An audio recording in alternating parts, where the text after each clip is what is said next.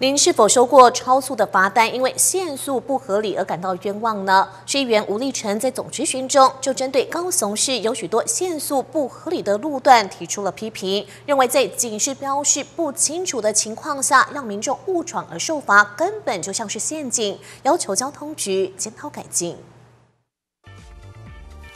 您是否有过经验？明明在同一条道路，却看到不同的限速，误差不到十公里，但因为警示标志不清楚，可能一不小心就违法受到罚单。市议员吴立成在总质询中重炮批评，根本就像是做陷阱。你啊，警察局因啊一寡较较认真的出嚟啊翕相，大家嘛超速。像中一路，我们一直跟警察局在联系，说要怎么样改善，然后兼顾安全跟效率啊，这部分我们在。我就说了啦，加一个十公里，无迄个安全的问题，你放心啦。我讲真，骑骑卡拉车都比咱较紧啊。从七十公里一下子降到四十公里、五十公里，很多，比如说计程车司机，还是我们用路人，我们常常会收到罚单啊。我们自己也是受害者啊，因为你标示不明，而且这路从这边到这边，其实感觉是一样大。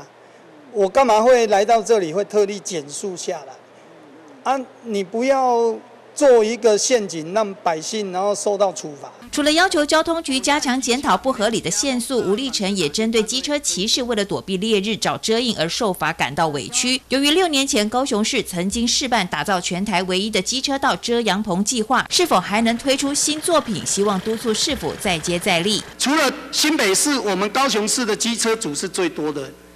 哦，啊，结果你大家要咪的时阵，你甲想，你也咪有当时啊，也无小心检举达人啊来。啊，伊个甲你甲你检举讲，啊，你那伫遮停伫遮喏喏，咱就搁吃上罚单。因为它只能在快慢分隔的路型设置，我们有有持续在做评估检讨。我们也可以弄个造景，哦，然后是找一些文创啊，有一些创意，有一些设计的人，做一个稍微可以让机车主哦有点遮掩的地方，其实都应该是一个很好的做法。吴立成也关心受到疫情影响的百工百业，政府该如何协助渡过难关？对此，代理市长杨明洲表示，将透过短期和长期政策配套应应。有一些是属于短期我们可以应急的，那么有一些是要长期去做一个布局。像短期的部分，在今年内，今年内我们会配合，呃，像中央的一些振兴方案，还有我们自己本身。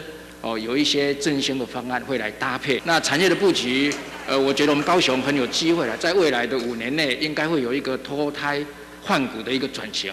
吴立成也检讨政府提出的振兴方案，尤其是票券的实用性，希望政府能务实严拟后防疫时期的经济政策，全力协助产业渡过难关。记者李佳龙、黄兰君高雄报道。